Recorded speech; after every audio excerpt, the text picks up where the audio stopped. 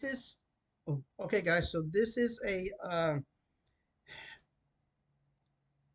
part two of a three-part series. The first one i showed you in xactimate how you can separate all your steep charges in xactimate. Now uh, you won't be able to know how to do this until you read excel because what you're going to have to do is you're going to have to create a macro okay?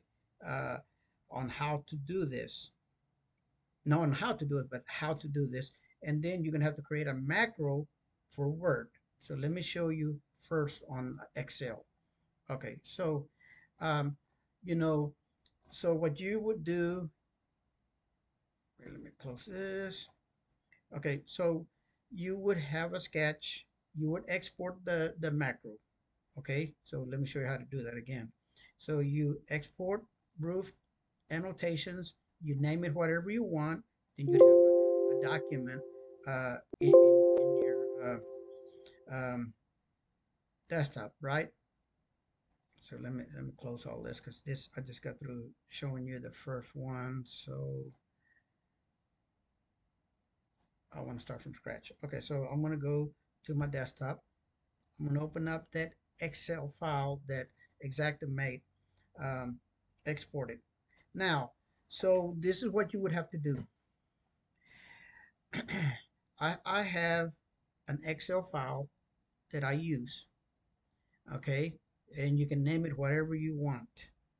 So, so this is the annotations ex, uh, exported from Xactimate. They will always look like this. You're going to select everything. You're to hit Control C. You're going to paste it in, whoops, Control C, and you're going to paste it into that document that you create that's going to have that uh, uh, macro. Now, so when you paste it in there, you just hit a button or you're going to go into your developers and uh, run that macro. So I'm just going to, I have a button. So I'm going to click on it and look what it did. Uh, it stripped out these two lines.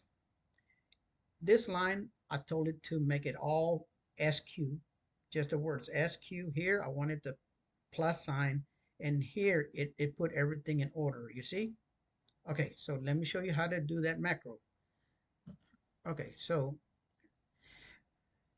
Okay, so once you start recording a macro, you got to know what you're gonna do. You need to know the steps because uh, you're recording every step you do. Okay, so here we go. Uh, so I'm gonna select everything first. Okay, so you should have developer on your uh, this uh, drop down menus here. If you don't, then that's another course you're gonna have to learn how to do because uh, I think I think you have to uh, bring this into your Xactimate uh, Excel. So here we go. Watch this. You go to Developer. You click on Record Macro, and what I'm gonna name this, uh, I'm gonna put delete this macro. You can't put spaces in between these lines here. Now you can put a description and put, uh, or, or, actually you, you can type whatever it's going to be. It's a uh, separate. Uh, well, here, let me see. Well, we're just going to put uh, Excel macro, Xactimate. And you know what it is for. Okay, or uh, whatever you want to name it. And I'm putting it on this workbook. So I'm going to hit OK. Now, uh, now it's, it's already recording. So everything you do, it's going to remember for the next file. So the first thing you want to do is go to data and you want to sort. You want to sort by slope. Hit OK. Now it put everything in order here, right? The next thing you want to do is you want to delete those. So you, you select them and you hit delete. Here, I want the machine to put SQ in every one of those uh, cells. So I put SQ, go to the right, all, go all the way down, and duplicate it. Okay, same thing here. uh, here I want it to be a plus sign. So I'm to hit shift plus enter. If you don't hit the enter, it's going to give you some weird results. So again, click on the bottom right hand corner, go down, and it duplicates it. Okay, now at this point, you would probably want to start recording. Okay, so uh,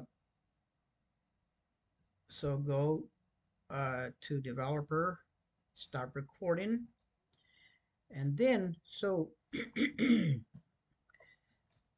at the end when you save this file, make sure you save it as a, a recorded macro. Okay, so let's go ahead and do that before we get out of before it gets out of hand. So we're gonna go file, save as. You see right here, you want this to say Excel macro embedded worksheet. So you click on that, you hit save, and now uh, you're gonna have two different files. You see, this is the, the, the first one we had. Now this one is saved with XLMS instead of CSV. okay, so uh, I'm gonna save this now. Watch this. Um, I'm gonna delete this and let's see if that worked. So let's delete everything. We're gonna go to the original. Okay, and let's select it again. Control C. We're going to go to this uh, Excel file we just created. We're going to hit Control V and we're going to go to Developer, Macros. We named it Delete this macro and you hit Run. It worked. You see? That's now every time you want to use that macro, you open up this document, copy and paste it. Okay, so now the next thing I do, um, I separate these things. So, um, you know, on mine, let me show you what I have on mine. Okay, so you see these three things right here, Control C, Control V. I'm just gonna put them right in the middle somewhere, doesn't matter. Okay, so I'm gonna, you can name it any way you want, okay? So first of all, I wanna separate my uh, seven to nine pitch. Okay, so we're gonna insert. Then the next ones that we need to, is from 10 to, um, 10 to 12 pitch. So we, put a, a blank space line in there. And then we go 10 to 12, and then anything greater than 12 would be right here. We hit insert. Okay, and so from here, I would hit, I would cut that, paste it in there. I would cut that, paste it in there. I would cut that and paste it in there. Okay, so this file is ready now. Now what I want you to do is save this thing. Okay, now I want you to open up my other um, YouTube video and that other YouTube video will say estimating a steep roof, number three Word. Okay, I'll see you there.